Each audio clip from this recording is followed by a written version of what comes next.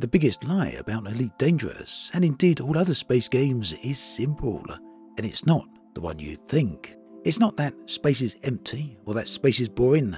The biggest misunderstanding is that space is big because it's far. And this misunderstanding is precisely what leads to the problem of as wide as an ocean, as deep as a puddle.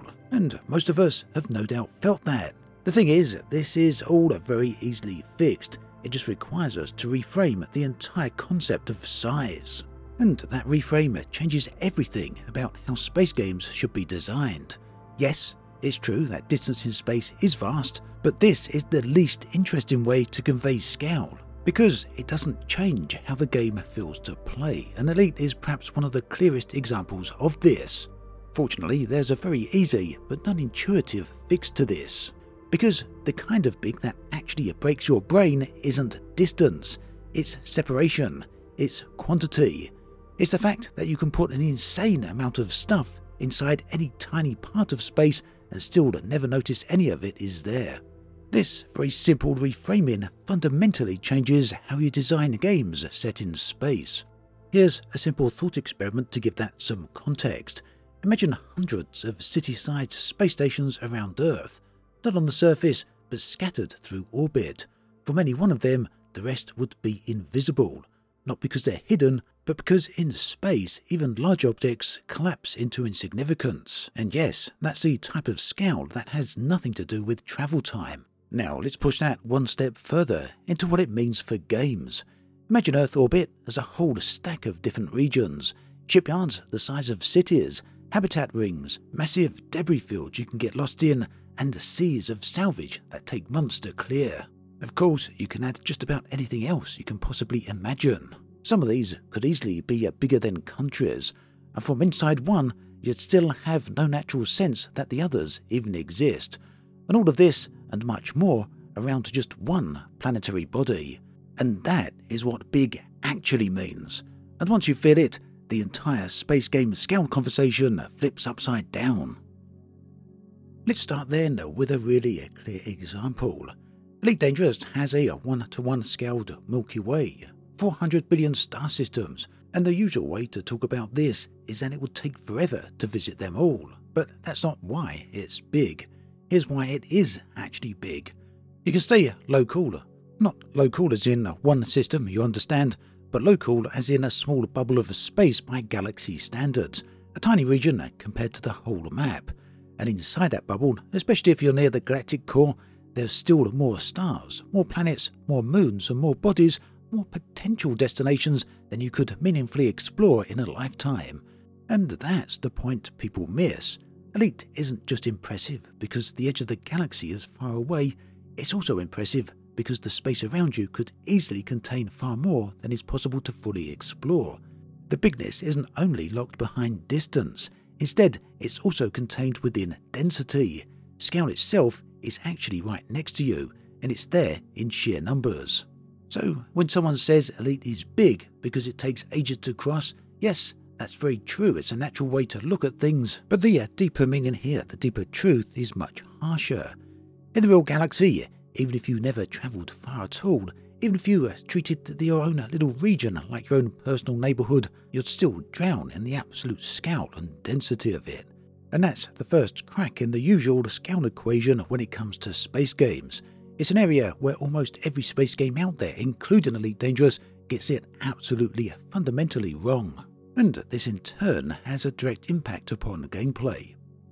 So, that is the first reframing of scale, and it's one which places a very different perspective on designing space games because now you're no longer thinking about scale purely in terms of distance and travel time. You're looking at how much you can put around Earth, how much you can put around any other region of space, and what this actually means, both in terms of gameplay as well as in law, politics, and just about anything else you want to throw into the game. Now, the second one is where the argument really starts to feel quite unintuitive, because it's the one that makes a single star system feel bigger than an entire galaxy map. Now, imagine you're in orbit around Earth, not landing, not walking on the surface, you never even touch the planet, you live in the space around it. Now, most people's mental picture of orbit is basically this a planet, a ring around it, maybe one or two stations, you look out the window and they are all there. And that picture is entirely wrong. Not scientifically, psychologically, because orbit isn't a ring. Orbit is a volume. It's a three dimensional shell of space with an absurd amount of room inside of it. And inside of that room, you could place stations, shipyards, fuel depots, habitats, telescopes, factories, graveyards of decommissioned hulls, junk fields, salvage zones, entire communities. And from any one of those places, most of the rest might as well not exist because you wouldn't see them. They wouldn't silhouette against anything they'd be lost in glare, lost in distance, lost in the sheer scowl of the sky. Unlike on Earth, where another city might be lost over the horizon, in space it's very different. You get this infinite black bowl where distant doesn't look like distance, it just looks like nothing. And remember, we're sticking to just one planetary body here and just the orbit around it. And if you built hundreds of big stations around Earth, you wouldn't get a crowded skyline, you'd just get lonely points of light and without instruments, you might not even know anyone else was out there. That is a kind of scowl that has nothing to do with travel time. It's scowl as coexistence without contact, scowl as density without visibility, scowl as a world big enough to hide other worlds, and that feels unintuitive. Well, good, because that's the cognitive hurdle that this entire video is about. Now, the reason people struggle with this isn't because they're dumb, it's because the human brain is trained on surfaces. In many ways, we live on a 2D skin wrapped around a rock. Our intuition is shaped by roads and horizons and landmarks and skylines. We measure how big something is by asking, how long does it take to cross it? What can I see from here? How many things can fit side by side? But space doesn't behave like that. In space, side by side becomes in front of, behind, above, below, ahead, under, and somewhere else entirely. So when games flatten a star system into a dot with a few icons around it, it looks normal to us because maps are normal to us. But what that flattening does is erase the most important part of space the sheer amount of available room, the sheer amount of empty room. And room is the point. The room is the scowl. So it's here that my argument that one star system is enough comes into play. It's not about travel time, it's not about realism, it's not even about how long it would take to fly to Jupiter. In this idea, a star system is not just a list of planets. It's not Earth, Mars, asteroid belt, and Jupiter. A star system is a stack of regions, and each region has its own kind of space. And for the purposes of this video, or even for the purposes of a video game, we can actually split it without getting technical. Earth has space that's close in and busy, then there's space that's higher and quieter, and then there's huge in between around the moon where near Earth starts to feel like deep space, and then there are pockets of space where things naturally gather, not because of friction, but because of geometry, stable places, useful places, places where it makes sense to build, to park, to hide. And none of that requires you to land on a planet. Of course, planets still matter because they're resource wells and gravity wells and light sources and shadows and anchors. They shape everything. But the argument isn't that Mars is cool because it has deserts. The argument is the space around Mars is its own region. The space around Venus is its own region. The space close to the Sun is its very own region. And the space near a super large planet like Saturn or Jupiter becomes structured in ways that literally don't exist anywhere else. In other words, you don't need an entire galaxy to get regional variety. You already have it inside just one star system, but only if you stop treating the star system like a menu or just points of interest or UI links. In other words, you fundamentally have to stop treating it about getting from A to B. Right, at this point, we've got three different kinds of big. We've got big by distance, that is the amount of time it takes to get from A to B. We've got big by numbers, that is elite being huge because local space contains so many places to actually explore.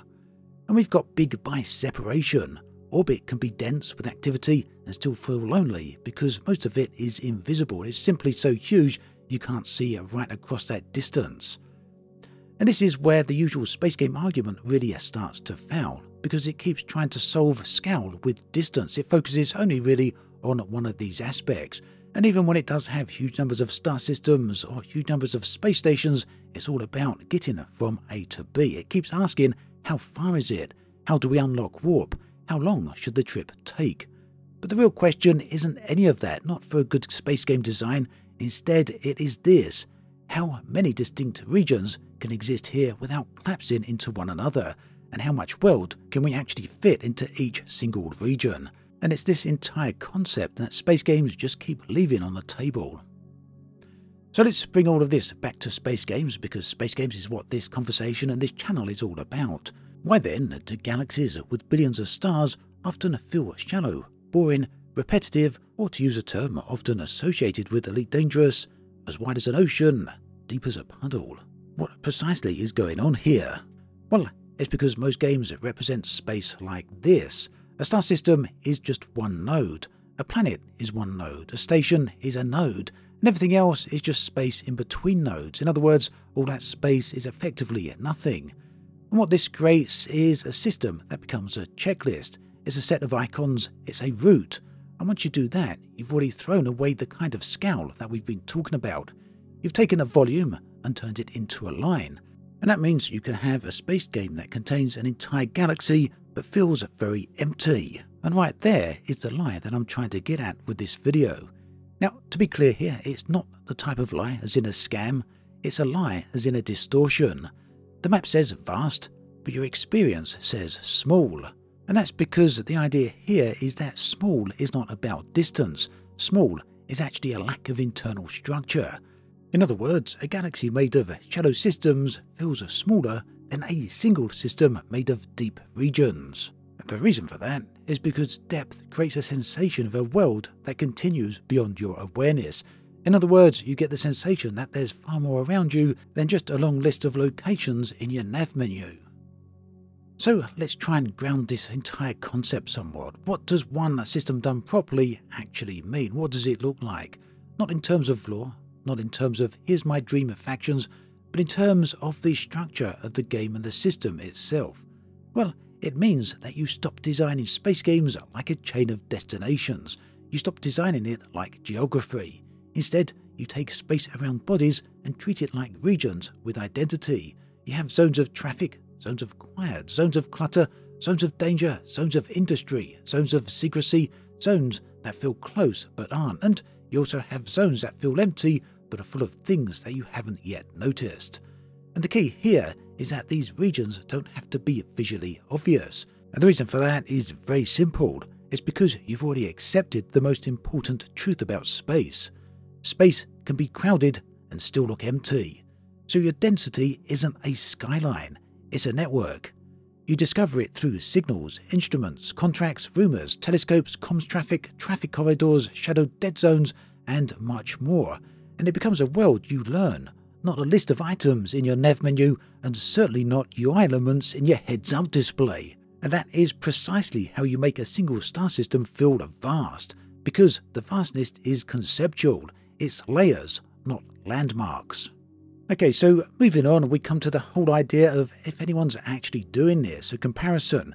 It's the point in the video where I'd normally run down a list of games, but I don't want to do that this time because I don't want this to become a list of game X is good and game Y is bad. Because this idea, this entire concept, is much bigger than one single title. In fact, it's a redefinition of what the space game genre should be. But all that said, you can see a few different aspects of this concept in a few distinct places. For example, Kerbal Space Program. This makes small systems feel absolutely huge because every place has relationships. It forces you to respect the fact that space is structured. Elite Dangerous, meanwhile, and somewhat ironically, is the best proof about the numbers argument. It demonstrates how local space can already be too much, but it often treats individual star systems as just points of contacts. A station here, a moon there, a settlement elsewhere, all linked together by travelling from A to B. In other words, not distinct regions. No Man's Sky, on the other hand, takes a very different approach. It gives a lot of meaning to planets, making them vast, making them quite unique. But the star systems act as a container, like a bowl in which these items are floating, just a substrate to move around in rather than a region to live in. And then there's Star Citizen. And yes, Star Citizen is trying to do this one star system with deep regional identity thing, but it's certainly not the uh, poster child for this argument. But it is a reminder that the direction is possible. It's the one, perhaps the only game, that is actively trying it on any level. And that is, you can make a single star system feel like alive. So the point here is that we have seen a few pieces of this scattered across a few different games, but I don't think we've seen a space game that fully commits to the definition of scaled we're talking about here. Not distance, not time, but space, room, layers, quantity and separation, all those things that essentially make up for volumetric space and separate regions. Okay, so in this video I've tried to reframe what space actually could mean in a space game and what more specifically it means to me and I really do feel that uh, developers as a whole just haven't clicked with this and they haven't really designed a game around this entire concept. But if this concept does click for you, if it changes what you ask for as a player, then, well, suddenly you might notice you might be feeling that more star systems stop sounding like the obvious upgrade. It starts actually sounding like the wrong goal. And that's not because big maps are bad, it's rather because the space game genre itself keeps buying breadth by selling depth. Instead of adding more dots and leaving each dot hollow, the dream here isn't give me a galaxy, the dream is give me one star system that feels like it could swallow me. Give me an orbit that feels like a continent. Give me regions of space that feel separate even when they're close. And give me a world that is so vast that I don't even know what is there. And I can constantly retain that feeling. The bottom line here then is that yes, space is far, but that's not the reason space breaks us. Space is big because it can hide things in plain sight because you can fill it with worlds and still look out the window and see absolutely nothing. And that's the lie space games keep inheriting from the way we talk about maps. They keep trying to prove scaled with distance and time when the real proof is simpler and stranger. A single star system can already contain more world than most games will ever build, not because it takes a long time to cross, but rather because a relatively small space, such as the orbit around a single planet, can contain literally absurd amount of content. In other words, we don't need more galaxies. We need to stop flattening the ones we already have. Because the best space gamer might not be the one that lets you travel a thousand layers. It might just be the one that makes you feel lost just 2,000 kilometers away from Earth.